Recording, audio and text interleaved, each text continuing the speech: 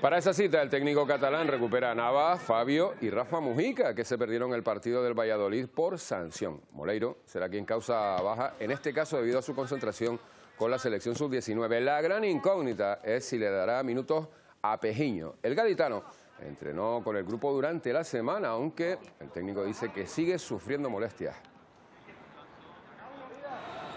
Que Las Palmas conserve sus opciones no depende exclusivamente de sus resultados. Es necesario que sus rivales pinchen y eso es lo que le ha vuelto a pasar a la Ponferradina que cayó hoy ante el mirandés de Raúl Lisuain y Germán.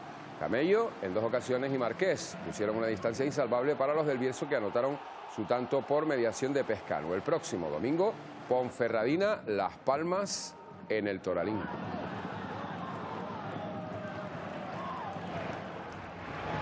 Y más intensa resulta si cabe la pelea por el playoff con la victoria del Oviedo por 3 a 0 frente al Fuenlabrada. Con este triunfo y con la derrota que le hemos contado de la Ponfe, el conjunto Carballón se queda a solo tres puntos de la sexta plaza. Un playoff que quiere evitar el Valladolid que con un golazo de Roque Mesa, ese en ese disparo, encaminó su victoria en Alcorcón y sigue de lleno en la pelea por el ascenso directo. Reparto de puntos esta mañana en la Palmera entre el Granadilla, Tenerife, Gatesa y el Real Betis femenino. Las isleñas no pudieron pasar del empate a cero y eso que gozaron de ocasiones para abrir el marcador. Una insistencia que al final no dio sus frutos. Las blanquiazules ahora son quintas en la clasificación, empatadas a 47 puntos con el Real Madrid y todavía están a dos del tercer clasificado, el Atlético de Madrid, peleando por esa plaza que dé derecho a disputar la Champions el año que viene. Que ellas estuvieron, yo creo que tácticamente muy bien. Mm, hicieron su trabajo, vinieron pues bueno, a hacer su partido, es evidente. Y nosotras, ya te digo, mm, estuvimos remando casi todo, casi todo el partido y, y nos vamos con una ligera sensación agridulce. Con este gol abrió el marcador ante Albania Ferran Torres, asistido por el gran canario Jeremy Pino, pero 10 minutos después, un error de Pau Torres en el intento de despeje provocaba el empate en el 85 y cuando todo apuntaba a las tablas, llegó un zarpazo, un zapatazo impresionante de Dani Olmo para darle así la victoria a los de Luis Enrique ante Albania. Primer partido además en el que coinciden en el verde Jeremy Pino y Pedro.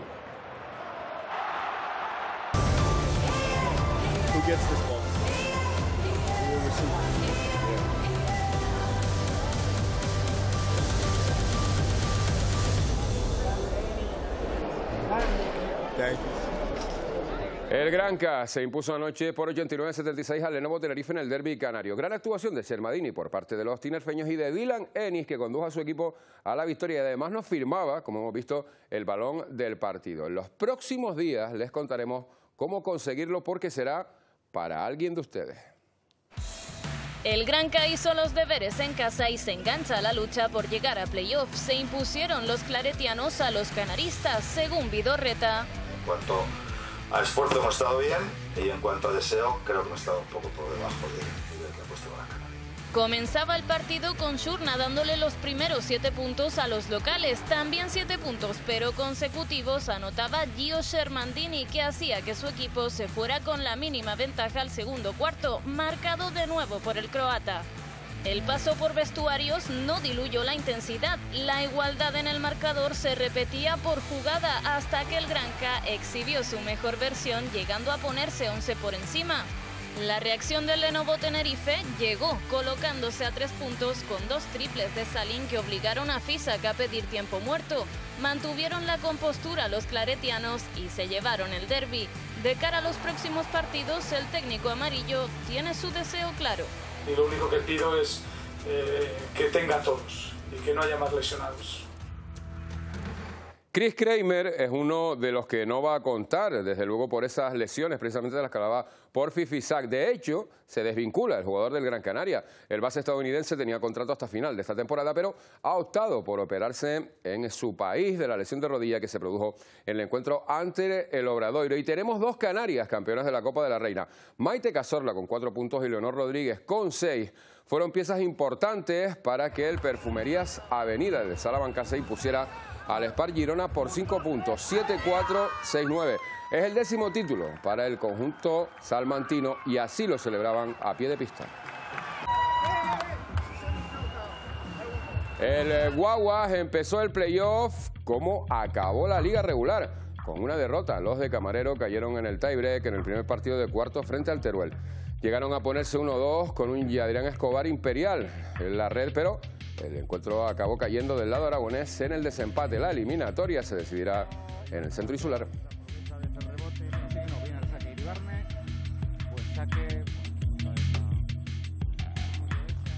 Desde Las Palmas de Gran Canaria a Santa Brígida, si la Villa Satauteña acogía la pasada semana la primera cita del Regional de Asfalto de Rallys en esta, albergó una prueba en la que los más jóvenes disfrutaron de un exigente circuito en el Barranco de los Olivos.